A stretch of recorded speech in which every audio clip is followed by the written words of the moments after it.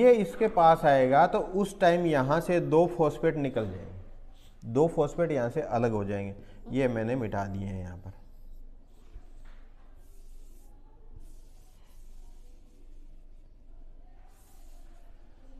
और यहाँ से जो है, अब बात सुनिए आप। अभी बनेगा तब देखना।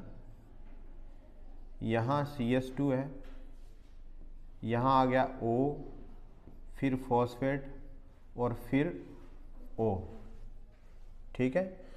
तो यहाँ पर देखिए फॉस्फेट के दोनों तरफ़ देखिए, ऐसा है ना? इस तरीके का बॉन्ड आता है तो उसको हम क्या कहते हैं? फोस्फोडाइएस्टर बॉन्ड तो ये जो दो न्यूक्लियोटाइड के बीच में जो बॉन्ड बनता है, इस बॉन्ड का क्या नाम है? फोस्फोडाइएस्टर